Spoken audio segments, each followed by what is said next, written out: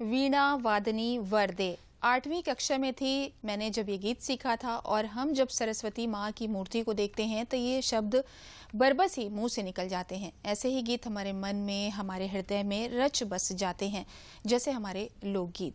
ये कहना है, मिजोरम के के सी रन रेमसंगी भी तो अपने मिजो लोकगीतों और अपने मिजो लोक नृत्य को लेकर इतनी ही संजीदा हैं। वो इसका देश भर में प्रचार कर रही हैं।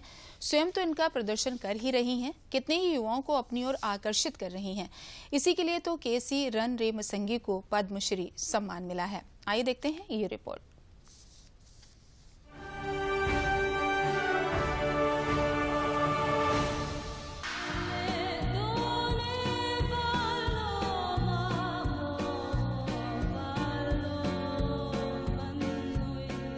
तीन दशक से भी अधिक समय से मीजो सांस्कृतिक विरासत की रक्षा करने वाली आइजोल की प्रसिद्ध मीजो लोक गायिका केसी रनरेम संगी देश भर में मीजो गीतों का प्रचार कर रही हैं। मीजो लोक गीत की रानी के रूप में मशहूर रनरेम संगी मीजो लोक संगीत और नृत्य को बदलते वक्त की चुनौतियों के बीच भी संरक्षित कर उन्नीस से ही अगली पीढ़ी को भी प्रशिक्षित कर रही हैं।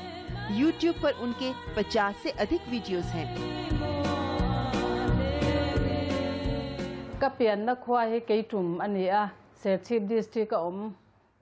बचपन में मुझे कभी नहीं लगा कि मुझे गायन और नृत्य का शौक था।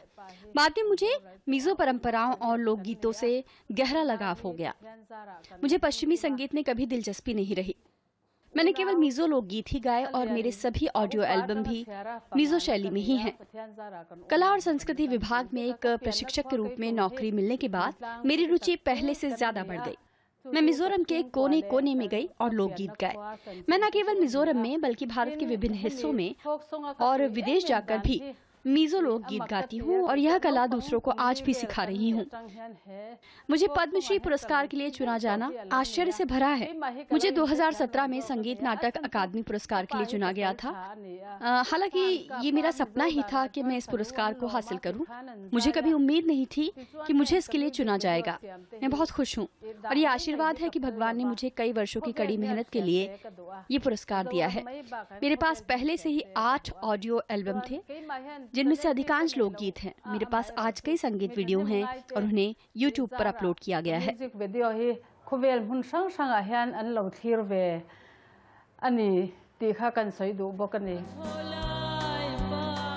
केसी रनरेम संगी को छोटी उम्र से ही गायन और नृत्य में रुचि थी।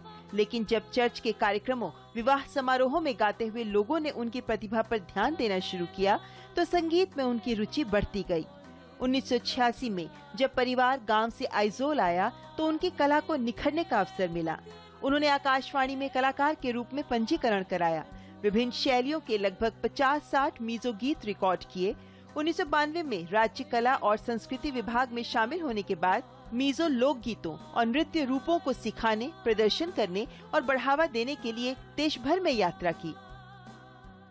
केसी रंगरम संगी, मिजोरम का एक लोक प्रसिद्ध गायिका है। उन्होंने बहुत कष्ट और बहुत मेहनती से वो संगीत वो कल्चर, संस्कृति लोगों का बीच में पहुँचाने के लिए बहुत सा मेहनत कर रहे हैं और बहुत सा गाना अभी उन्होंने रिकॉर्डिंग किया और लोगों के बीच पहुँचाने के लिए उन्होंने बहुत मेहनत किया भारत सरकार की तरफ़ से उनको पद्मश्री सम्मानित किया गया हुआ है, उसका लिए मैं बहुत बहुत बधाई देना चाहता हूँ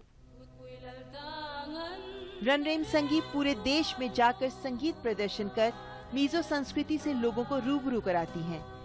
संगीत के क्षेत्र में उनके योगदान के लिए 2017 में उन्हें संगीत नाटक अकादमी पुरस्कार से सम्मानित किया गया।